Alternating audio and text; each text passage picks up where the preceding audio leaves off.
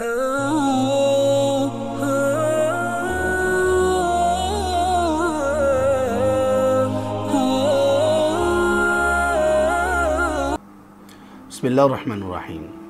दो सवालत हमारे सामने हैं। पहला सवाल ये कि लैलतुलजाइज़ा क्या है? इनाम की रात क्या है? एक रिवायत बयान की जाती है कि ये रमज़ान के अख्ताम के बाद जो पहली रात है, शव्वाल की पहली रात, जिसको हम चाँद रात कहते हैं इस रात का क़ियाम ये इंतहाई अहम है और इस रात को लैलतुलजाइज़ा कहा गया कि ये इनाम की रात है। तो जिस शख्स ने इस रात का क़्याम छोड़ा तो वो इस इनाम से महरूम हो गया। याद रखिए कि कोई ऐसी बात आप सल्लल्लाहु अलैहि वसल्लम से साबित नहीं है कि जिसमें यह कहा गया हो कि ये रात अल्लतुलजाइज़ा है, यानी इनाम की रात है।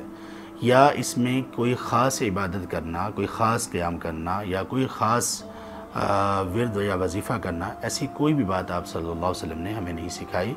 ना ही ऐसी कोई बात साहब रदी अल्लाह में और ना ही ताबीन, तबा ताबीन, आइमा मुहदसिन में ऐसी कोई बात हमें मिलती है। हाँ अलबत् इस रात को आम रातों की तरह गुजारा जाएगा और मोमिन की आम रातें कैसे गुजरती हैं?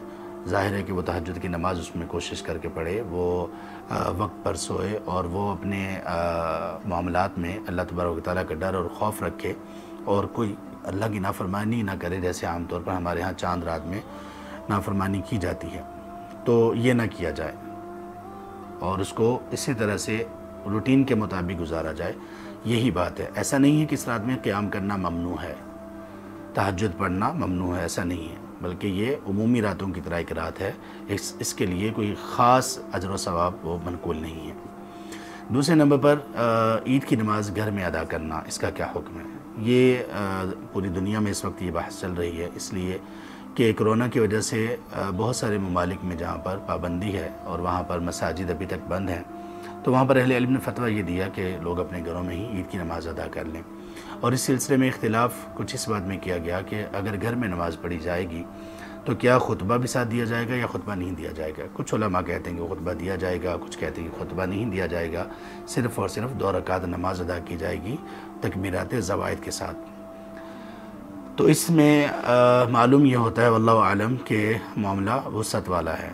जो लोग वाकई ही जहाँ पर मसाजिद बंद हों और बाहर ईद का अहतमाम ना हो, या वो लोग जो कि ज़्यादा उम्र के हैं, या वो लोग जो मरीज़ हैं तो वो अपने घर में ही नमाज़ को अदा कर सकते हैं। अगर ज़्यादा लोग हैं तो वो जमात करवा सकते हैं। और इसी तरह से ख़ुतबा भी देना जिन उलमा के नज़दीक यह है कि ख़ुतबा भी दिया जा सकता है। वल्ला आलम, उनकी बात दुरुस्त मालूम होती है। ख़ुतबा भी इस सिलसिले में दिया जा सकता है। लेकिन अगर आपके यहाँ करीब किसी जगह पर ईद की नमाज़ का अहतमाम है तो आप ज़रूर जाइए। हाँ अलबत् एहतियाती तदाबीर को कतान मत छोड़िए।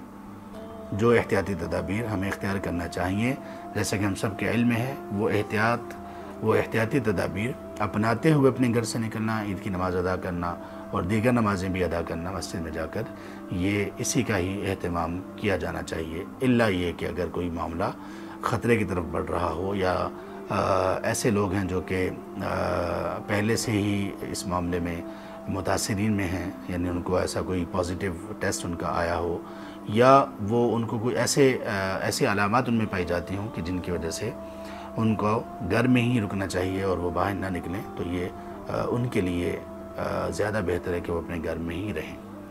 अलबत् रुख्सत हर हाल में है। अभी तक है, जब तक कि अल्लाह ताला इस वबा को हमसे दूर नहीं कर देते। अल्लाह ताला हमें अमल की तोफ़ी नसीब आमीन।